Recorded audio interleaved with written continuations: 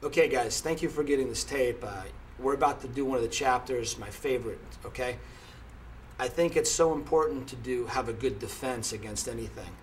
In jiu-jitsu, a lot of people want to learn how to attack. That's what they think. How do I submit a person? What, what do I do? You know, let me learn the, the craziest new move that looks neat, you know? I think for me, the art of jiu-jitsu is learning how not to get submitted. Anything else, you know, uh, my, my philosophy is to defend yourself first and, and don't tap out to the guy. And now that I feel so comfortable my, about my defense, I'm ready to tap him out. And no matter where the fight goes, no matter where the grappling match goes, if I feel good about my chances of survival, I feel better about my chances to tap him out because I'm not so concerned about getting tapped. So I think uh, for everybody out there, the philosophy at the uh, Gracie Fighter School, if you notice the guys in the, that, that, fight for my team that uh, I put in tournaments, sometimes we win, every once in a while we lose, but we're not getting tapped out like uh, a lot of other guys because uh, we, we have a strong emphasis on defense. So I want you to really pay attention to this tape and, uh, and make yourself strong jiu-jitsu players by it. So let's start this one off, uh, the counter state, okay?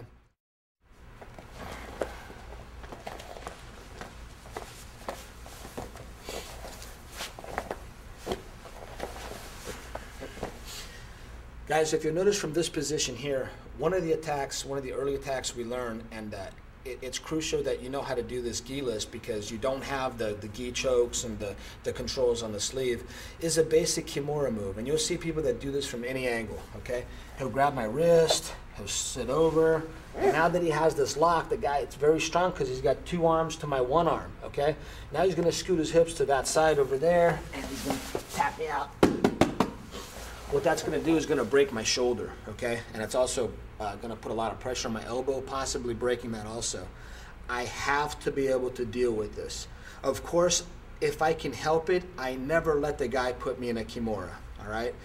And as, as good as I am with that, sometimes it's going to happen. He's quick, that's his favorite move, whatever. He's going to put me in a kimura, and I can't just say, oh, I'm in this kimura now, I'm going to tap out. I have to be able to defend it, okay?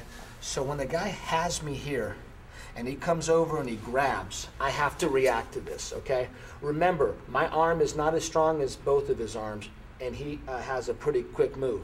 So as he's laying back, I'm gonna drop my left shoulder, okay? So he starts to scoot and lay back, my left shoulder drops, and look at my right leg. It takes a huge step, okay?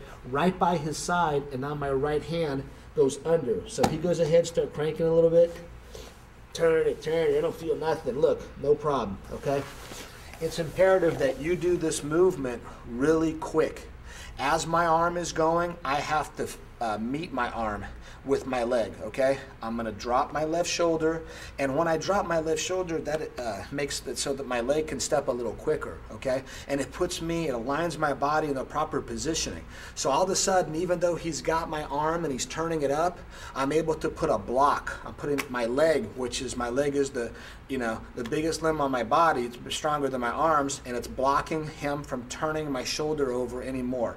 So when he has it, We'll start here. And sometimes, like, see, I can grab my, my pant leg or, you know, if, total giless, I have shorts. Some guys grab here, you know, they grab the inside, but this guy's gonna lay back, lay back, lay back, and he's gonna finish it, okay?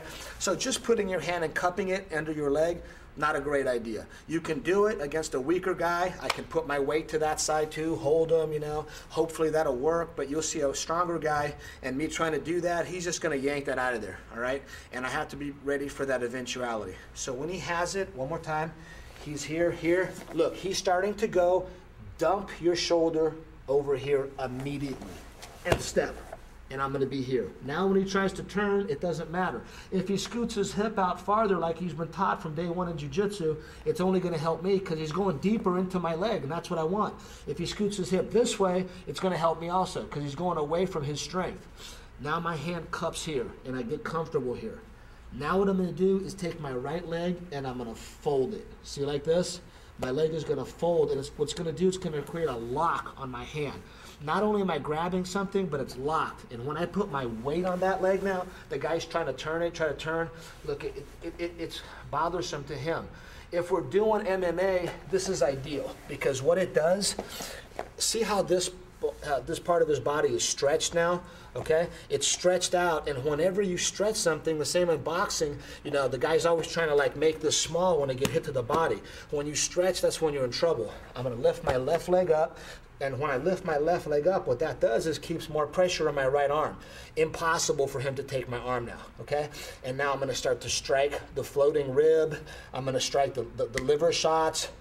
This is this is what I'm going to be doing here, punching him, punching him, and he's going to open up because I'm going to break his ribs. It's just going to happen, okay? In uh, giless, you know, I'll stay here and uh, I'll start to push. Now push his elbow out, push his elbow out, and, and then free my hand up.